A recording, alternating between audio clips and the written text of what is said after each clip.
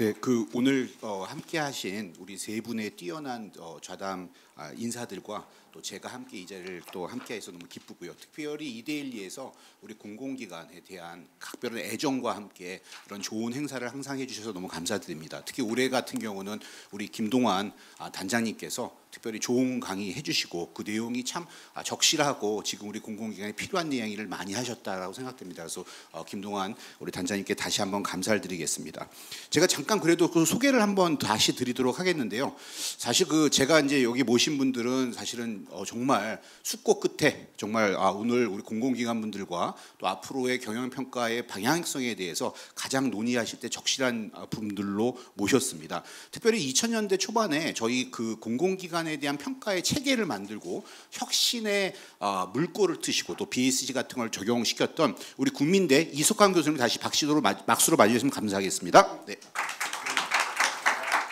아, 이렇게 설명을 드리는 것은 정말 2000년대 초반 저희의 그 평가 시스템 만들 때 우리 이석환 저 부총장께서 정말 어, 떻게 보면 이 체제를 만드신 분 중에 하나입니다. 그래서 정말 아, 감사를 드리고요. 특별히 이제 사실은 그 현장에 계신 우리 공공기관의 소통과 공공기관에 대한 교육에 있어서 가장 또 어, 어떻게 보면은 어, 모든 일을 다 해주시고 어쩌 보면은 이제 저 우리 공, 앞으로 경영평가 방향성에 대해서 많은 것을 알고 계신 우리 서울여대 노승현 교수님 모셨습니다. 그다음에 이제 그 공공기관 운영위원회 위원이시면서 아 제가 뭐 이분을 만날 때부터 그 만난 그 타임부터 아 지금까지 존경을 아주 많이 하고 있으신 분입니다. 우리 아 서울과기대 이종욱 교수님 모셨습니다. 저는 부족하지만 그 2020년 21년 경평단장을 준정부 기간 하였고요. 오늘 사회 볼 최연선이라고 합니다. 반갑습니다. 그 오늘의 토론은 이 세 분의 어, 뛰어난 어, 또 여러 가지 insight를 좀 듣는 시간이 될 텐데요. 첫 번째 저희가 좀 논의할 사항이 있습니다. 방금 이제 김동욱 교수, 아, 김동환 교수님의 좋은 강의도 저희가 들었기 때문에 윤석열 정부가 공공기관 혁신이라는 이름으로 네 가지의 중요한 과제들을 실천하였고 진행하였습니다. 그래서 사실 혁신과 혁신에 대해서 좀 전에 소개시켜드린 것처럼 우리 공공기관 혁신에 굉장히 중요한 역할을 하여주신 우리 이석환 부총장님께서 아, 우리 윤석열 정부 의 아, 공공기관 혁신의 1년 반의 성과에 대해서 간략하게 한번 말씀해 주시죠. 네. 네, 어, 방금 소개받은 국민대학의 이석환입니다.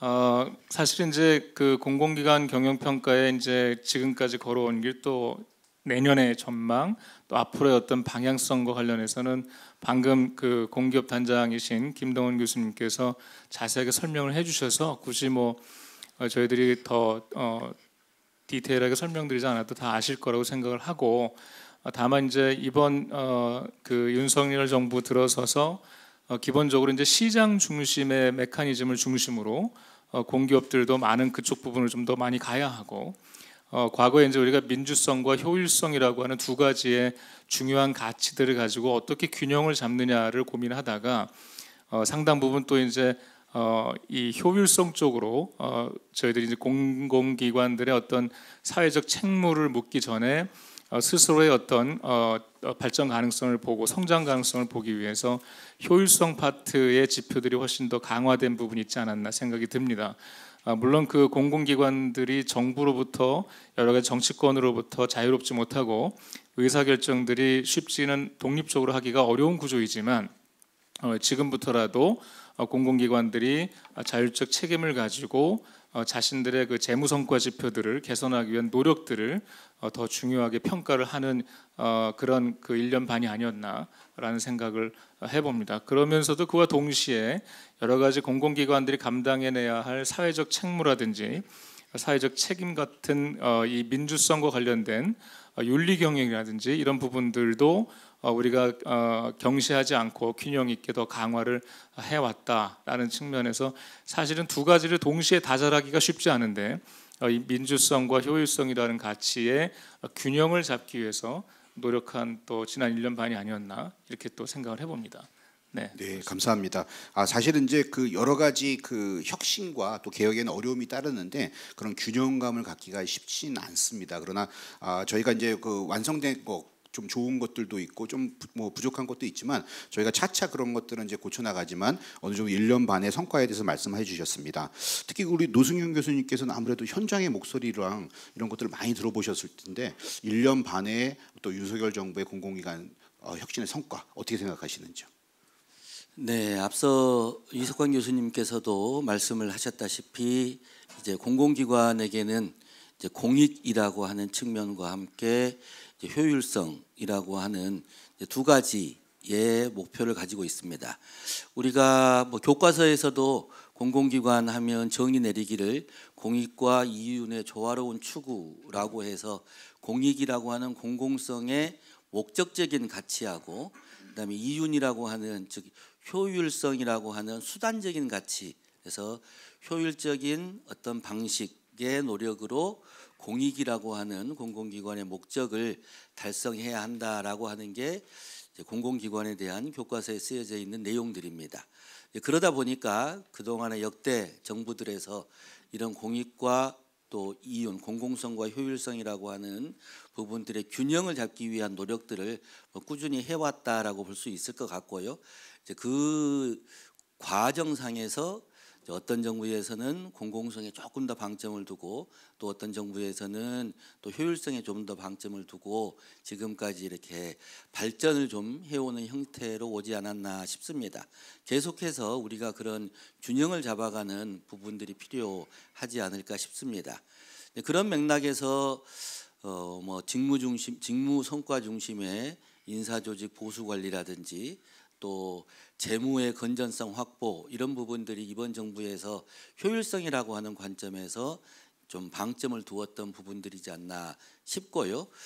그런 부분들 사실 조금 더 잘 하게 하려면 예를 들면 기본, 기본적인 준비 또 우리가 보통 뭐 인프라 이렇게 얘기한다면 직무 성과 중심의 인사 조직 보수 관리를 위해서는 어떤 여러 가지 제도들의 기반이 좀 마련되어져 있어야 하는데 어, 지나치게 직무급이라고 하는 부분들만을 먼저 내밀고 하다 보니까 공공기관들이 그런 혁신이라고 하는 거를 약간 체계적으로 추진하는 데 있어서의 한계가 좀 있지 않았나 하는 생각이 듭니다.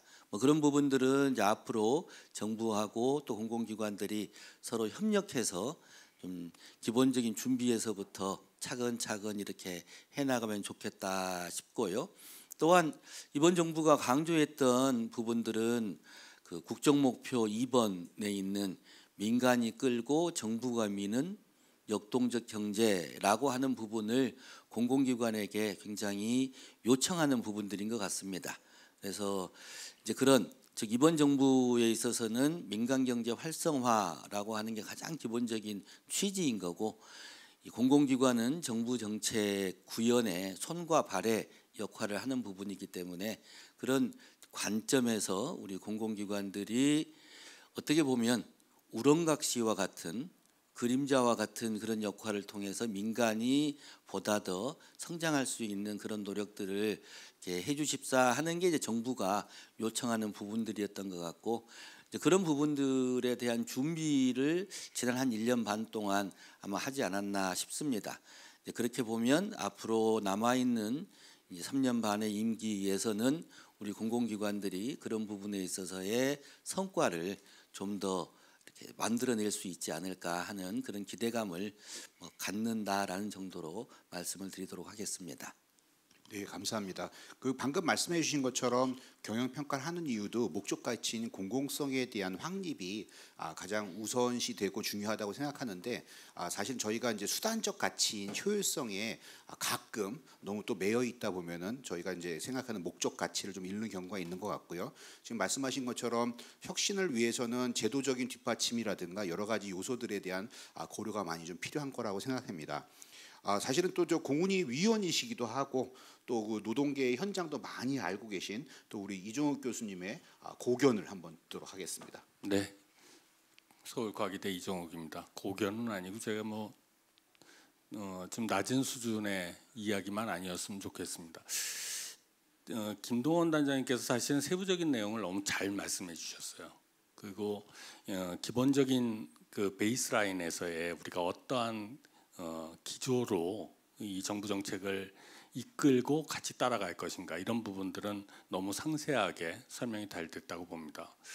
저는 개인적으로 그 이제 노무현 정부부터 시작을 한다면은 어, 큰 슬로건들이 있었습니다. 균형 발전, 그 다음에 그 우리 이명박 정부 때의 녹색 성장, 그 다음에 그 박근혜 정부의 창조 경제, 그 다음에 문재인 정부의 어, 사회적 가치. 근데 이 정부는 아마 딱 떠오르시는 게 없을 겁니다. 저는 그게 장점이라고 사실 생각합니다. 이 슬로건에 매몰돼 갖고 너무 지나치게 공공이 가지고 있는 공공기관이 가지고 있는 그 해야 되는 일들 공법에서 정한 대국민 서비스의 질을 오히려 어, 그런 슬로건에 매몰돼 갖고 함몰되기보다는 전반적인 부분들에 대해서 한번 그 점검하고 스스로 할 수 있는 부분들을 좀 강화시키고자 하는 것에 대해서 윤석열 정부가 가지고 있었던 기본적인 틀은 상당히 의미가 있다고 생각합니다. 특히 작년도 5월 달에 시작해서 뭐 6월 달에 경평이 있- 발표가 있었지만은 실질적으로 진검에 대한 점검은 아마 내년도가 어 이제 1년을 충분히 바라본 어 성과가 나오지 않을까 이렇게 생각이 되고 이 혹시 기억이 나실지 모르겠지만 첫 번째 문서에서 공공 그 기획재정부가 공공기관을 다루는 어, 첫 번째 문서의 헤드라인 타이틀이 이거였습니다. 어, 생산성과 효율성 강화를 위한 공공기관 혁신 가이드라인이었습니다. 혹시 기억이 나실지 모르겠습니다.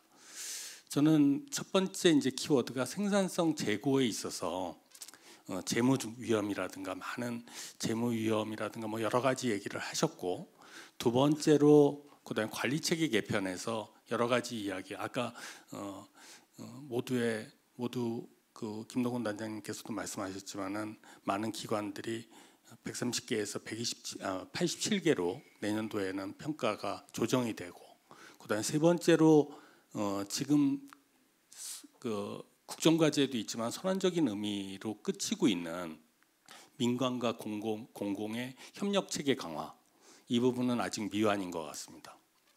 이 부분이 과연 올해 어, 성과에서 어떻게 나타날 것인가라는 것은 아마 내년 한 해로 가지고는 어렵지만은 마지막으로 말씀드리고 싶은 건 이런 측면이었습니다. 우리가 공공에서 어, 그동안 계속 논란이 됐던 게 공공성이 강화돼야 되냐, 효율성이 강화돼야 되냐 이런 논란은 이제 종식될 때가 됐다고 봅니다. 둘 다 다 저는 중요하다고 생각하고 예, 한쪽만 강화돼 갖고는 결국은 어, 자칫 공공 기관뿐만이 아니라 우리가 공공이 다루고 있는 800조가 넘는 세출 예산으로 봤을 때 상당히 어, 자, 자칫 어, 편협된 생각에 빠질 수밖에 없다. 네, 그런 부분에 있어서 균형을 가, 갖추고자 어, 기획재정부라든가 많은 곳에서 노력을 한 것까지는 저는 충분한 어, 성과라고 봅니다. 마지막으로는 관리 체계 개편에 있어서 지금 많은 기관들이 기타 공공기관으로 넘어간 부분은 어, 노조라든가 다른 여러 시민단체라든가 이런 데서도 약간의 이론은 있지만은 어, 긍정적인 부분을 많이 얘기하고 있습니다. 그러나 과연 정부 부처의 책임 강화를 책임성을 어디까지 놓고 볼 것인가 내년도에 이제 처음으로 어, 기타 공공기관으로 넘어간 공기업이라든가 준정부 기관들이 있습니다. 그런 기관에 대해서 저는 평가를 위한 평가가 아니라 정말 정부도 같이 평가를 받고 제대로 책임을 지는 그런 정부가 됐으면 좋겠습니다. 내년도가 이제 결국은 이 윤석열 정부의 어, 어떻게 보면은 1년 동안의 공공의 성과를 측정하는 측면에서 봤을 때 어, 우리가 조금은 우리 기관뿐만이 아니라 국민의 눈으로서 기- 제가 잘 쓰는 말인데 기승전 경영 평가가 아니라 기승전 국민의 편익이 얼마만큼 높아졌는지를 지금 바라보는 그런 기대감이 굉장히 큽니다. 예, 계속 말씀드리겠습니다. 네, 감사합니다. 그 일단은 그 지금 중요한 포인트를 말씀해 주셨는데 이제 기타 공공기관으로 많이 넘어가고 어, 그런 편이 있는데 저기 정부 업무 평가라는 게 있고 또그 경영 평가 제도가 있는데 이게 사실은 정부 정부 업무 평가 기본법에 의해서 사실 공공기관, 지자체, 그다음 중앙 공공기관이 아 그 공공기관들이 다 이제 평가를 받게 되는데 이게 이제 잘 합치가 잘 안 됩니다. 정평은 또 결과가 좀 다르게 나오고 그다음에 또 경영 평가도 좀 다르게 나오고 근데 사실은 지금 이제 그 윤석열 정부에서 기타 공공기관으로 특히 300인 이하를 이렇게 많이 한 거는 저도 굉장히 긍정적으로 생각하고 그 평 그거가 된 됐다면은 기타 공공기관 평가에 있어서 부처 평가와 연계되는 그런 요소들이 많아야 되는데 부처 평가와 공공기관 평가가 자꾸 분리되는 현상은 마치 하는 거는 다 똑같은데 이 뭐 평가하는 사람들에 따라서 결과가 완전히 달라버리면은 어 누가 이게 어떤 신뢰가 가는 또 이런 평가가 될까 이런 싶습니다. 국가에서는 똑같은 평가들인데 그래서 이런 것들을 좀 주의해야 할 것 같습니다. 저의 좀 첫 번째 질문 조금 이렇게 시리어스하게 했더니 어, 좀 방송도 나가고 있는데 너무 심각한 것 같아요. 좀 웃고 즐기는 또 그런 시간을 갖도록 하겠는데 오늘 오면서 보니까 굉장히 추워졌어요. 추워, 추워졌는데 공공기관 분들의 마음도 춥고 몸도 추울 것 같아요. 요즘에 이제 그 옷이, 옷이 헤어져도 옷 살 돈도 없으실 것 같아요. 이 비용 절감을 위해서 정부에서 엄청난 또 여러 가지 노력을 하고 있는데 아, 공공기관의 어떤 경상비라든가 여러 부분에 좀 비용 절감하고 있지 않습니까?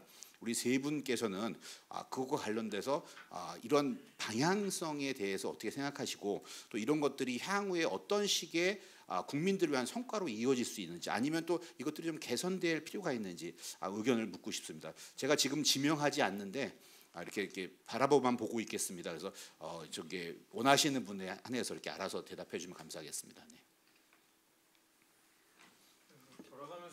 모양새가 돼가지고 또 어, 괜히 또 저기가 뒤통수가 좀 그런 다가왔는데 어, 뭐 편안하게 말씀을 좀 드리라고 하니까 또 그렇게 또 드려 보도록 하겠습니다. 어, 비용 절감과 관련된 건 뭐 단순히 어떻게 어, 그 예산을 아껴 쓰느냐 아니면 비용 지출을 뭐 효율적으로 하느냐 어, 여기에 국한되어 있지는 않다고 생각하고 모든 면이 다 이렇게 연결되어 있다라고 저는 생각을 하고 있습니다.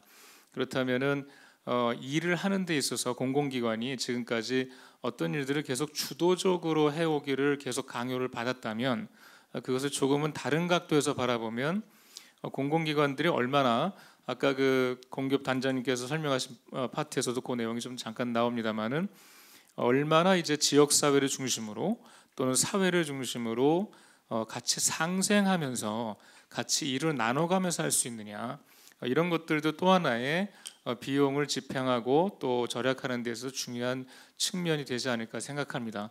어, 결국 어, 효율성이라고 하는 것은 이제 최소한의 인풋을 가지고 최대한의 아웃풋을 만드는 게임일 텐데 사실은 그 상생이라고 하는 것 또는 뭐 동반 성장으로 불리우던 어, 이 공공기관들이 일종의 테스트 베드나 여러 가지 플랫폼들을 깔아놓고 기업들에게 제안을 하고 어, 기업들이 사실상 시장에 바로 어, 그 나타났을 때는 어, 도저히 기술 개발하기 어려웠던 그런 부분들에 대해서 이제 공공기관들이 중장기적 관점에서의 투자를 같이 해주고 어, 그 여러 가지의 무대들을 제공해 준다면 어, 그런 것들이 가장 효율적으로 자원 배분이 효율적으로 일어나는 선순환 구조가 아닌가라는 생각을 해보게 됩니다. 우리가 흔히 비용 절감을 한다고 하면 회사에서도 제일 먼저 하는 것이 어, 복사지에 이면지를 쓴다든지 어, 가장 어, 그 아주 원초적인 부분들을 절감하는 게 비용 절감이라고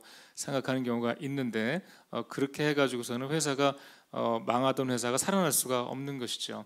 그래서 큰 그림을 가지고 거시적인 차원에서 자원 배분의 관점에서 효율적인 어, 자원 배분이 됐으면 하는 생각을 가지고 있고 또 그렇게 가는 것이 맞지 않겠나라는 생각을 해봅니다. 예, 너무 감사합니다. 사실 이면지 쓴다고 공공기관이 다 좋아지고 한 점 부채 다 갚을 수 있으면 정말 이면지를 아, 갖다 사서라도 쓰도록 하겠습니다. 그러나 지금 말씀하신 대로 저희가 공공기관이 해야 되는 게 그 우리 민간의 발전을 위해서라도 테스트베드라든가 여러 플랫폼 역할도 해야 되고 아, 이런 여러 가지 역할을 하고 있는데 진짜 필요한 거를 줄여서는 안 되겠죠. 그리고 어, 어찌 보면은 이제 그 어, 다른 요소들 이제 정부에서 얘기하는 것처럼 좀 쓸데없는 요소들이 있다면 그건 정말 뼈를 깎는 아픔을 겪더라도 줄여야 되겠지만 해야 할 일은 꼭 해야 하는 게 아닌가 싶습니다. 방금 노승윤 교수님께서 마이크를 꽉 잡으셨습니다. 그래서 제가 한번 노 교수님 모시도록 하겠습니다.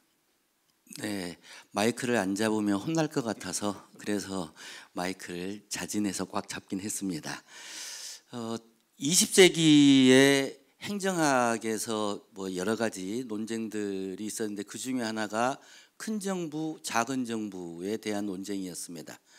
뭐 그런저런 이야기를 하다가 결국 결론이 난 것은 이제 일을 더 잘하는 정부가 중요하지 규모가 크고 작고라고 하는 부분이 뭐가 중요하냐 하면서 이제는 뭐 그 부분에 대한 논쟁은 없는 것 같습니다. 그렇게 하면서 정부 영역에서도 앞으로 해야 할 일, 또 중요한 일들을 안 하고 있는가 하고 있는가 이런 거를 파악해내고 또 그동안 해왔던 건데 하지 말아야 할 일을 여전히 또 하고 있는가 하는 부분을 파악하는 것이 더 중요하다.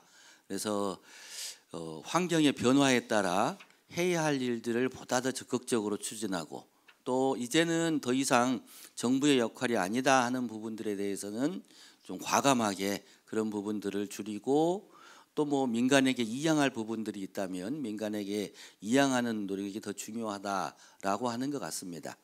앞서 이석환 교수님께서 말씀하신 부분과 이제 맥을 같이 하는 건데 단순히 일부 운영비 줄이고 하는 것만을 우리가 비용 절감으로 보기보다는 좀 더 넓은 의미에서 즉 우리가 해야 할 일인가 하지 말아야 할 일인가 하는 것에 대한 상시적인 점검 이런 부분들이 더 필요할 것 같고 또 확대해야 할 부분들은 또 과감히 확대할 필요가 있습니다.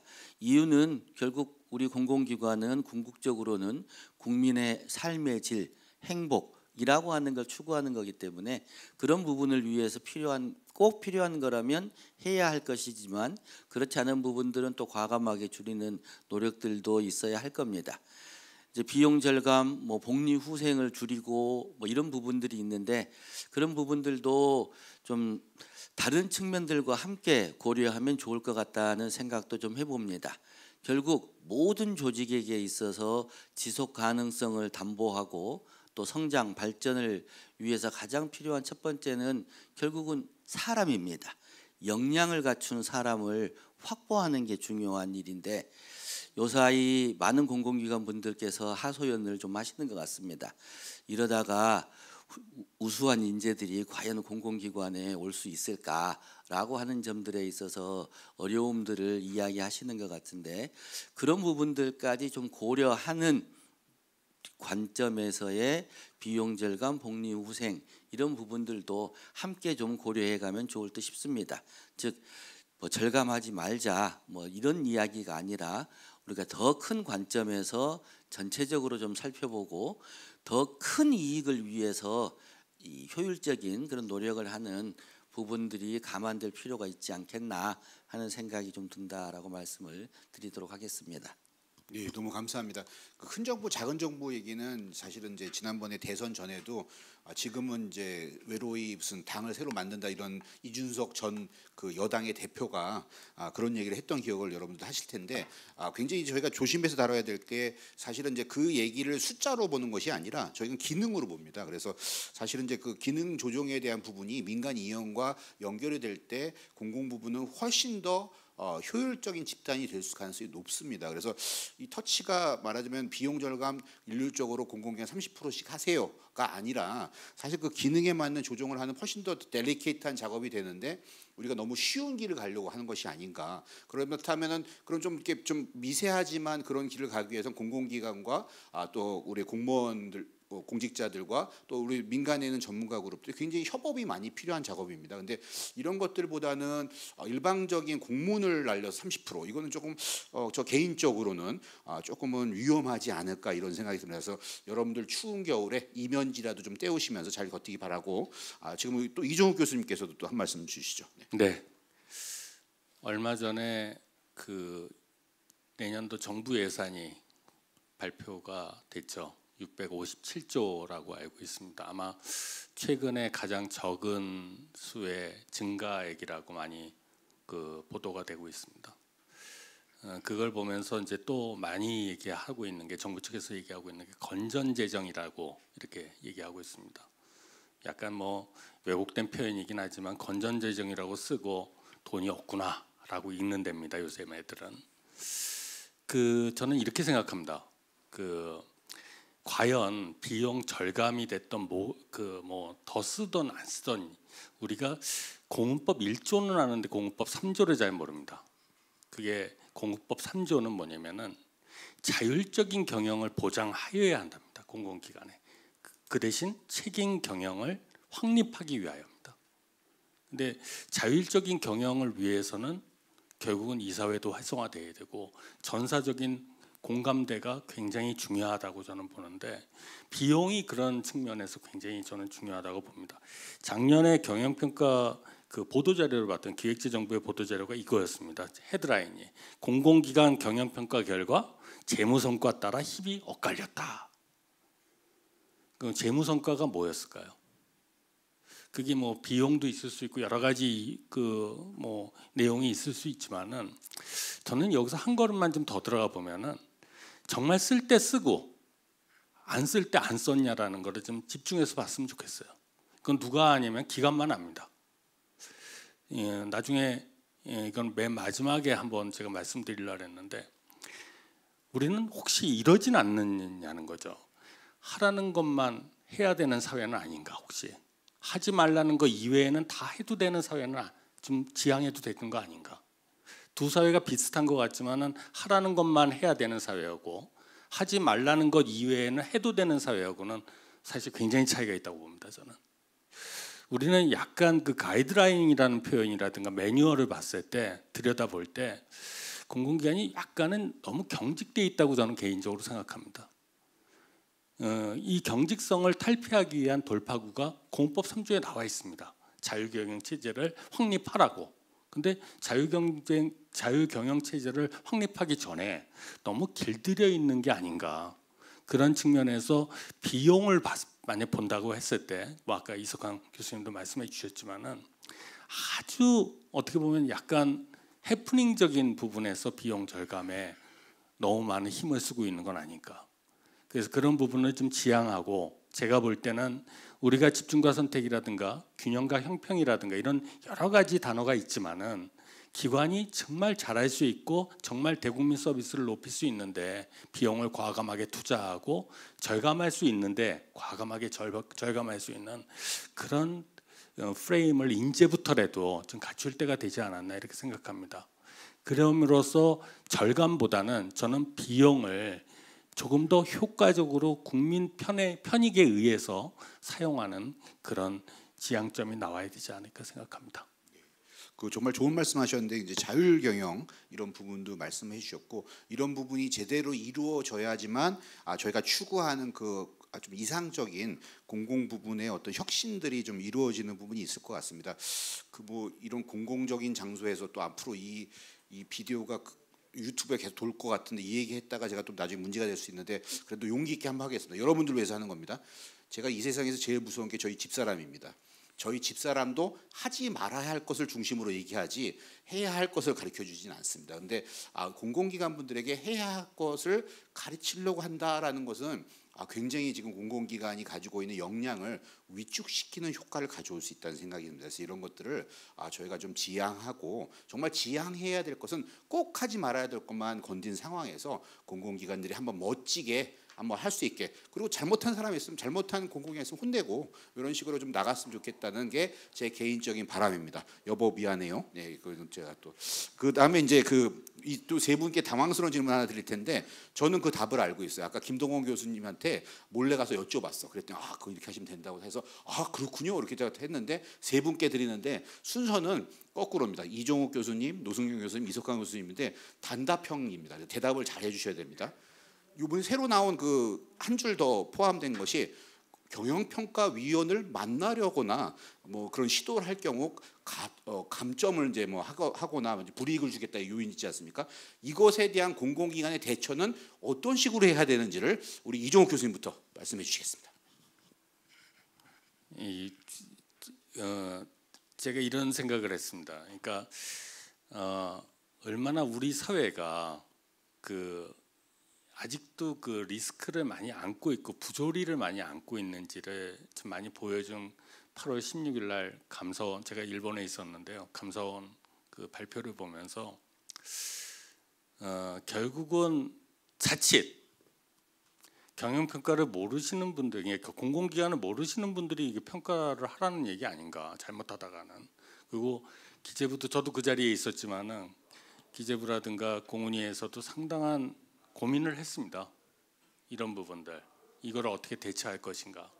그리고 어, 지금 현재 150명 이내로 구성되어 있는 어, 전문가들을 뭐 회계사 법조계 이런 거 빼, 빼면 한 8, 90분 정도 되는데 이런 분들을 어떻게 잘 운영을 할 것인가. 지금 아마 곧 경영평가단 모집에 기재부는 또 들어갈 겁니다. 그리고 작년 같으면 또 유튜브로 그 광고까지 낼 겁니다. 저는 그 지금 저 사회자께서 좌장께서 말씀하신 만나지 말아야 된다. 그러면 어떤 시기 됐든지 간에 기관을 알려야 되고 기관에 하는 일에 대해서 굉장히 홍보를 잘해야 된다고 봅니다. 근데 저는 이렇게 생각합니다. 우리 올해가 공공기관 경영평가 40주년입니다. 40주년. 83년도에 시작했다고 계속 선전하고 있습니다. 저도 뭐 그거를 운영하는 운영위원인데요. 40년 됐으면은 특히 전문가들은 공공기관을 몰라서는 안 된다고 생각합니다. 특히 이, 이 우리 영역에 있는 사람들은 공공의 영역에 있는 사람들, 국민에서 편익을 받고 있는 사람들은 공공기관을 모르지 않는다고 생각합니다. 그리고 무슨 일을 하는지, 어떻게 하면 더 잘하는 일을 하고 있는지. 다만 세부적인 내용에 대해서는 저는 두 가지로 단답으로 말씀드리겠습니다. 하나는 좀 홈페이지를 저는 그 개선하셨으면 좋겠어요. 사실은 내가 홈페이지를 많이 들어가 보는데 그 하나는 자기의 언어로 구성을 한 홈페이지가 그 기관의 언어로만 구성을 한 홈페이지들이 상당히 많이 있고 자료를 찾기가 아직도 그 맞춤형이 그러니까 그 기관에 잘하는 사람 이외에는 찾아보기 어려운 그런 사업 구조를 포함하는 기관들이 적지 않습니다. 인제 인제부터라도 저는 뭐 팁은 아니고 그거를 만나지 못, 한다 그러면은 우리가 홈페이지는 들어가 볼 수 있으니까 홈페이지에서 최소한 7, 80%는 해소될 수 있도록 홈페이지를 좀 잘 만들어 놓으시는 게 좋지 않을까 이렇게 생각이 되고 두 번째로는 사실 그 만나지 않는다는 게 어디까지 만나지 않는다는 건 저는 잘 모릅니다. 그러니까 찾아가서 만나지 않는 건지 아니면 이렇게 우리 컨퍼런스라든가 워크숍 같은 데서 와서 만나지 않는다는 거를 구분하지는 않고 있습니다. 잘 보시면 아시겠지만은 그래서 조금 그 기관에서는 이런 어떤 전문가 포럼이라든가 이런 게 있을 때 어, 그렇다고 뭐 출장을 너무 자주 하시면 안 됩니다. 근데 조금 적극적으로 이렇게 대처하실 수 있는 방법이 있지 않을까 개인적으로는 생각을 합니다. 다만 지금 그 감사원에서 발표한 내용대로 한다고 그러고 기재부에서 그 대응 방안으로 얼마 전에 보도자료 나간 거로 봤을 때는 상당히 그 기관에 기관에게도 그 사실은 이 페널티가 있기 때문에 조심 정도가 아니라 내년도에는 더군다나 그게 시행되는 해기 때문에 상당히 우리가 서로가 상당히 조심스럽게 이를 접근해야 된다고 생각을 하지만은 우리가 공론의 장애에서는 조금 더 그런 것들을 활성화시키면서 이 접촉의 면을 좀 강화시켜야 되지 않을까 저는 생각을 합니다. 그래서 이건 저는 이 표현을 공공 접촉이라고 이렇게 얘기했는데 공공 접촉을 늘리자 이렇게 표현하겠습니다. 이상입니다. 좋은 말씀 감사드립니다. 우리 노승용 교수님. 네, 앞서 이종욱 교수님께서 뭐 자세하게 설명을 해주셔서요. 일단 뭐 첫 번째는 이렇게 개별 접촉이라고 하는 부분들을 제한한다고 하면 이 기획재정부나 평가단에서 공적인 접촉을 할 수 있는 그런 이제 장을 좀 더 제도화하고 많이 만들어 주시는 부분들을 해 주신다면 그러면은 개별 접촉의 영역들은 좀 줄어들어 가지 않을까 하는 부분 하나 하고요. 두 번째는 경영 평가는 저는 이 성과 관리 팀만의 노력으로만 이루어지는 건 아니고 저는 홍보 부서가 절반은 차지한다라고 생각을 합니다. 그래서 어, 우리의 노력들이 국민뿐만 아니라 많은 이해 관계자들에게 좀 널리 알려질 수 있도록 하는 홍보 부서의 노력들이 좀 이루어지면 좋겠고요. 세 번째는 어, 이 부분에 있어서만큼은 자율 경영은 아닌 것 같다라는 말씀으로 제 의견을 드리도록 하겠습니다. 예, 그건 뭐 자율 경영은 아닌 것 같습니다. 감사합니다. 이석환 교수님. 글쎄 뭐 앞에 두 분께서 이제 말씀하신 의견들 좀 종합해 보면 어 뭔가 좀 그 공공기관에 계신 분들이 평가단하고 어 좀 어 공식적으로 만날 수 있는 이, 이 양성화라고 좀 할까요? 어 그런 그, 그 모멘텀이나 그런 플랫폼 좀 많이 만들었으면 좋겠다. 예를 들면은 뭐 이제 관련 학회들도 많고 어, 주로 이제 대부분 교수님들이나 전문가들이 학회에 나오시기 때문에 뭐 예를 들면 저희 또 한국 행정학회가 있고 한국 정책학회가 있고 또 한국 경영학회가 있고 또 유관학회들이 꽤 많은데 어, 그런 학회들에서 이제 여러 가지의 다양한 형태의 세미나를 개최하고 거기에 대한 개선 방안을 같이 토의하고 또 기관들이 서로 벤치마킹할 수 있게 하는 어떤 발표의 장을 만들어 주는 것들이 상시적으로 1년 내내 일어난다면 어, 얼마든지 그 관련된 분들이 어, 소통하면서 교류하면서 어, 만날 수 있다고 저는 생각합니다.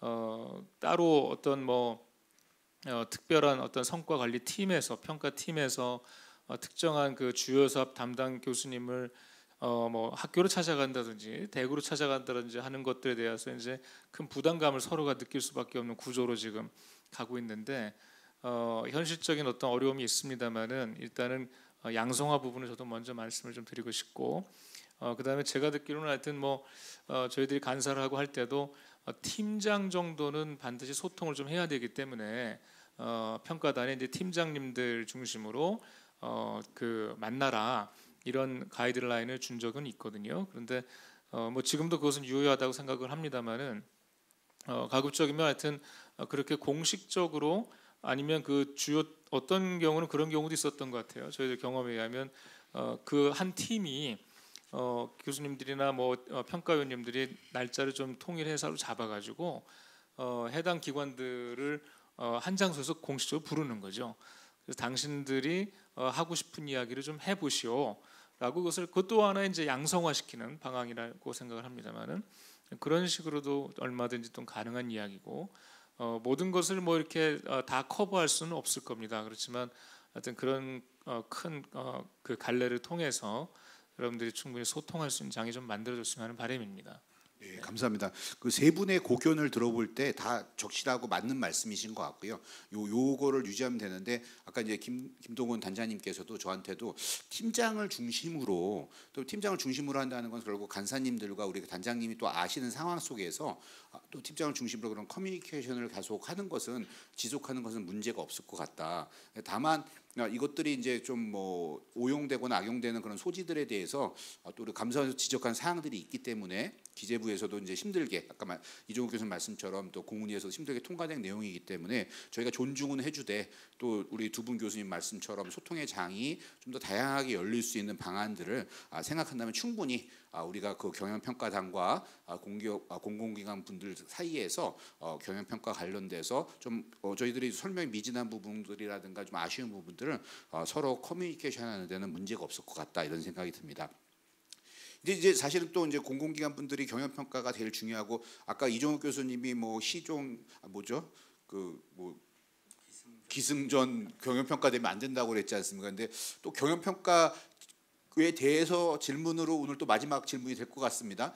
제일 중요한 게 이제 2023년에 경영평가 결과를 바라보시면서 2024년 또 우리 공공기관 분들이 벌써 이제 뭐 이렇게 보고서도 쓰시는 작업도 시작하시고 벌써 이렇게 막 이제 와 그러니까 끌어오르고 계실 텐데 아 이제 여러 가지 이제 뭐 좋은 점도 있고 어려운 점도 있고 그러실 텐데 어떻게 준비했으면 좋겠는지 한번 여쭙겠고 그 방향이 어, 경영평가 방향이 어떨지 아까 물론 김동원 교수님께서 가, 다 아주 샘, 자세하게 설명을 해주셔서 그런 방향성에 대해서는 저도 우리 모두가 또 인지는 하고 있습니다. 단지 아, 오랫동안 또 경영 평가를 해오셨고 또 현장에서 계속 계셨으니까 이제 세 분의 교수님의 말씀을 듣도록 하겠는데 아, 지금은 뭐 우리 노승현 교수님부터 먼저 예, 저- 죄송합니다. 항상 가운데 말씀을 드렸어야 되는데 아닙니다. 네, 네, 예. 원래 맨 마지막에 하는 걸 좋아하는데 예, 처음 하라고 하셔서 예, 글쎄요 어, 어디선가 들은 이야기가 점쟁이가 지죽을 날 모른다고 하는 이야기를 들은 것 같은데 제가 어찌 예, 내년의 평가에 대해서 이렇게 이런저런 이야기를 할 수가 있겠습니까? 네, 앞서 김동원 교수님의 이제 강의를 쭉 들으면서 이제 뭐 여러분들도 느끼셨을 것 같고 저도 뭐 비슷하게 어쨌든 공부들을 할 수 있었던 것 같습니다. 그 강의를 통해서 이제 내년에 이 경영평가의 방향을 저도 좀 배웠다라고 할 수 있을 것 같은데요.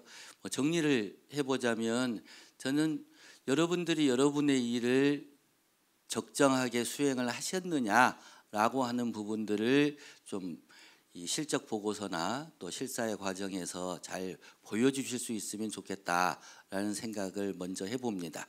그 적정하게 일을 수행했느냐라고 하는 첫 번째가 바로 공공기관 모두에게 주어져 있는 그런 책무를 수행했느냐라고 하는 거가 되겠지요.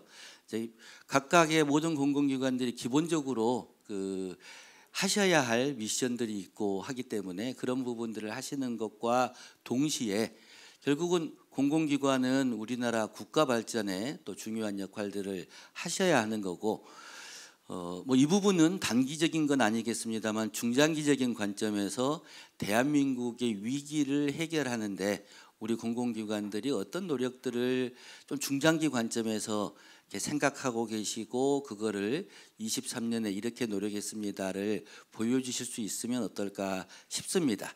이제 인구 위기라고 하는 부분도 있고 뭐 지역 소멸의 부분도 있고 뭐 지역 소멸 부분과 관련해서 지방 대학의 위기들도 있고 합니다. 이제 뭐 그런 부분들을 또 해결하자고 혁신 도시도 만들어 놓고 했으니까요.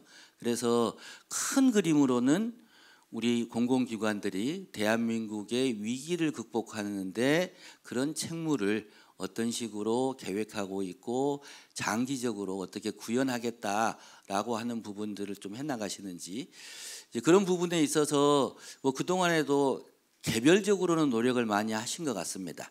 그런데 우리 혁신도시의 성과도 좀 잘 안 보인다 하는 데에서 나오는 것처럼 이제는 뭔가 그쪽의 지방자치단체, 우리 공공기관 그리고 민간의 영역들 시민단체들하고 잘 협력하셔서 일종의 네트워크를 만드셔가지고 우리 지역의 중장기 미래 방향은 어떻고 그걸 위해서 우리 기관은 뭘 할 거고 너네 기관은 뭐를 할 거고 이런 좀 그 합치된 그런 미래 방향들을 만들어내시고 거기에 따른 노력들을 좀 한다면 우리의 이제 지역의 발전들을 위한 개별 노력보다는 좀 더 성과가 나타나지 않을까 하는 생각을 해봅니다. 그래서 그거는 아주 큰 거시적인 이제 관점에서 뭐 20년, 30년 끌고 가야 될 문제들이겠지요. 이제 이번 정부로 생각을 해보면 결국 국정 목표 2번에 나와 있는 민간이 끌고 공공기관이 미는 역동적 경제. 저는 이제 기관 명칭을 거기다가 넣으면 되는 것 같습니다. 이 민간이 끌고 전기가 보이니까 한국전력공사가 미는 역동적 경제 그게 국정목표 2번이 우리 공공기관들에게 주는 메시지라고 생각이 됩니다. 그래서 그런 부분들의 사례가 나와 있다면 아마 내년 평가에서 좋은 평가를 받을지 받을 수 있지 않을까라고 조심스럽게 예측을 해봅니다.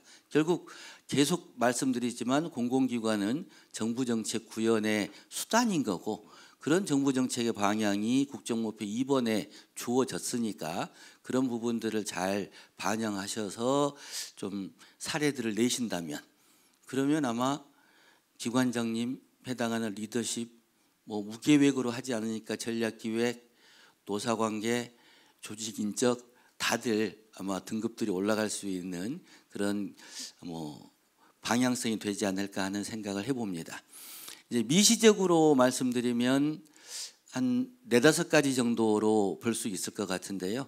첫 번째는 앞서 김동원 교수님도 말씀을 하신 결국은 재무라고 하는 부분이 여전히 영향을 미칠 수 있지 않을까 싶습니다. 이제 그 계량적인 부분들이 물론 중요할 것이고 근데 이제 갈수록은 앞으로 갈수록은 계량적인 부분들의 영향이 조금씩은 줄어들긴 하겠지요. 왜냐하면 모든 기관들이 노력들을 하실 거기 때문에 영향들이 줄긴 하겠지만 내년까지도 여전히 이제 재무 부분에 그 내용이 중요하지 않을까 하는 생각을 해봅니다. 두 번째는 이번에 그 혁신 가점 부분의 점수가 나누어지고 한 것처럼 직무 성과 중심의 인사 조직 보수 관리라고 하는 결국 작년 8월에 나온 공공기관 관리 계획이라고 하는 이 혁신 계획 두 번째의 이 3번 과제에 해당이 됩니다. 그 부분이 이미 숙제를 여러분들에게 드린 거니까 거기에 대한 평가들이 또 있을 것 같고요. 그 다음에 세 번째는 ESG라고 하는 부분을 결국 사회적 책임이라고 하는 부분과 연계시켜 본다면 우리 공공기관들이 하셔야 할 책무이기 때문에 또 중요하게 좀 고려해야 되지 않을까 싶습니다. 네 번째는 앞서 김동훈 교수님께서도 디지털 플랫폼 정부 말씀을 해 주셨습니다. 그런 부분 연계해서 보자면 디지털 혁신이라고 하는 뭐 digital transformation이라고도 할 수도 있을 거고요. 그런 부분들에 대해서 우리 기관들이 얼마만큼 2023년에 노력들을 해 주셨느냐. 즉 아마 전략기획 및 경영혁신에서도 해당이 될 것이고 또 앞서 김동훈 교수님 말씀에서도 0.5점에 해당하는 국민소통 세부평가 내용 3번 부분이 데이터 개방도 있지만 데이터에 기반한 행정 그 실태 점검 이런 부분들이 다 반영이 될 거라고 여겨집니다. 그래서 그런 쪽에서도 디지털 기반이라고 하는 쪽에 디지털 혁신이라고 하는 부분들이 중요하게 여겨지게 되지 않을까 싶고 그리고는 그런 디지털 혁신을 통해 기관의 효율성을 생산성을 어떻게 제고했느냐 하는 부분들도 이 디지털 혁신이라고 하는 것은 목표가 아니고 수단인 거잖아요. 그런 수단들을 통해서 우리 공공기관들이 추구해야 할 가치를 얼마만큼 잘 달성했느냐 하는 부분들이 또 중요한 뭐 네 번째의 어, 뭐 키워드가 되지 않을까 싶습니다. 그리고는 마지막으로는 세부 평가 내용이 작년하고 달라진 건 거의 없는데 윤리경영 세부 평가 내용 1번만 전년도에 1번, 3번이 합쳐져서 하나가 되었습니다. 김동훈 교수님 강의에서도 나왔습니다만 기획재정부의 윤리경영 표준 모델이라고 하는 것에 따라서 2022년 6월 달에 여러분들이 기재부의 계획도 다 제출을 하셨고 이제 그거에 대한 1년 반의 시간이 지났으니까 이제 평가단에서는 그 내용을 평가하겠다라고 하는 부분이어서요. 그런 부분들을 잘 살펴보시면 어떨까 싶습니다. 특히나 국민권익위원회에서도 유사한 내용을 또 이야기한 바 있어서 기재부의 모델 또 국민권익위원회가 조금 더 디테일하고 한데 그런 부분 그리고 또 여러분들이 잘 하시는 ISO 이런 부분들을 좀 종합적으로 연계하셔서 우리 기관의 맞춤형 윤리경영 모델을 좀 만들어내셨느냐 하는 게 중요하지 않을까 싶습니다. 공통된 내용들이 뭐 지표별로 기관마다 똑같겠지만 아마 맞춤형 모델이라고 하는 부분에 있어서는 재무에 해당하는 부분하고 또 윤리경영에 해당하는 부분들이 어떻게 보면 기관마다 특색이 있고 내용들이 다 달라야 하지 않을까 싶습니다. 재무 계획이 모든 기관이 다 똑같을 수는 없, 없을 것이고요. 다 처해진 환경이 다르고 하기 때문에 계획을 만드는 부분들도 다 다를 것이어서 그런 부분들에서 지표들에서 이 맞춤형 우리 기관의 전략과 대응 노력들이 있어야 하지 않을까 하는 생각으로 조심스럽게 말씀을 드리도록 하겠습니다. 예, 참 따뜻하고 디테일한 말씀이었습니다. 이때 갑자기 공훈위원이신 이종욱 교수님의 말씀을 한번 들어보죠. 예, 그 노승윤 교수님 감사합니다. 뭐 전반적인 얘기는 다 해주셨고 어, 제가 노승윤 교수님 말씀 듣다 보니까 그 김동훈 교수님 그 이 단어가 아홉 번 나왔습니다. 예, 그러니까 김동훈 교수님이 다 말씀을 해주신 거를 자세히 풀이를 해주셨다고 저는 개인적으로 생각하기 때문에 근데 저는 정성적인 얘기 한 두 가지만 드리도록 하겠습니다. 우리가 하나는 그겁니다. 그 경평 보고서를 저도 많이 보는데요. 정말 이게 그 우리는 100%를 위해서 가고 있습니다. 완벽한 거를 추구를 하겠죠. 근데 중요한 거는 130%를 할 수 있는데도 불구하고 100%에서 스톱하는 경우가 있습니다. 저는 그 공공의 그게 굉장히 리스크라고 생각을 개인적으로 합니다. 그건 뭐냐면은 다음 연도 평가를 위해서입니다. 이제 이건 약간 정책적인 부분이기 때문에 제가 어, 한 걸음 더 들어가진 않겠습니다. 다만 근데 우리가 어, 정부라든가 어차피 국민이라든가 그다음에 공공기관에 종사하시는 모든 전사적인 어떠한 임직원들을 생각한다 그러면은 우리는 더 할 수 있는 거는 더 할 수 있게끔 달려가야 됩니다. 그리고 이 정부가 그것에 대해서는 키워드를 분명히 제시를 했습니다. 그게 뭐냐면 생산성을 높여달라. 그 대신 자율성을 주겠다. 그렇게 얘기를 했기 때문에 저는 평가도 그렇게 이루어져야 된다고 생각하고 그렇게 주장을 할 겁니다.